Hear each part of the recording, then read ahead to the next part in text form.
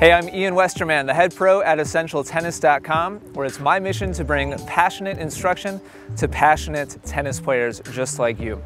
Today we're going to be talking about how to jump on your service motion, which really, I don't really like the, the, the word jump so much. Really the way I look at this is how to use your legs effectively which a natural byproduct of that is leaving the court surface if you drive with your legs powerfully the way that you're supposed to.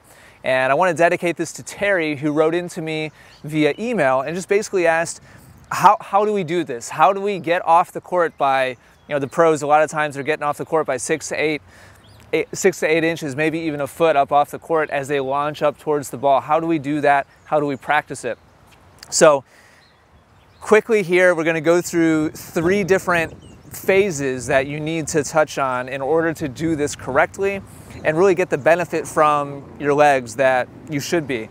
So the first, first phase is basically the loading phase, and that's typically referred to as the trophy pose. And part of the trophy pose, just one part of it, is the loading of the legs. And if you look at slow motion or freeze frame, you know, photography of professional players in their trophy pose, you'll typically see a, a bend that's around 90 degrees, depending on what stance they're in, if they're in platform stance or pinpoint stance, you'll see a little bit different variation, but they'll get down as low as a 90 degree bend. I'm talking about the angle between uh, you know, your calf and uh, your upper leg. Now, you at home do not have to get that deep. If, you if that feels to you like it's too far and you're struggling just to get up out of that bend, no problem, use what's comfortable for you, but there needs to be some kind of active loading of the legs. Otherwise, you will not have the potential energy to then drive powerfully up towards contact and use what are really the most powerful muscles in your body, your, your legs. So once you're loaded, you must drive. You must powerfully drive up off the court and as I mentioned at the beginning, I don't want you so much to think of this as a jump where you're loading, jumping up and then, you know, hitting the ball like a, like a volleyball, you know, spike or volleyball serve. That's not really the point here. The idea is you want to actively drive upwards towards the ball as you make contact, not that you want to hit a jump serve where you jump first and then like hit when you're midair. You want to be driving actively upwards as you hit the ball is the whole idea. So once you've done that and you've lifted off the court, the final phase here is to catch and balance. And the way you want to do that is by landing on your front foot in the courts. Ideally, you want to at least be driving enough with your legs that your front foot lands first inside the baseline, someplace. I'll just leave that as a general you know, goal for you.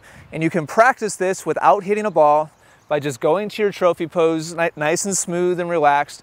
Get that nice bend with your legs. Drive, just go through your motion just nice and easy. You're not trying to go through really aggressively here, but go through your motion and then land on your front foot and try to, try to keep your balance, which is not as easy as you might think. So drive, swing, and catch on that front foot.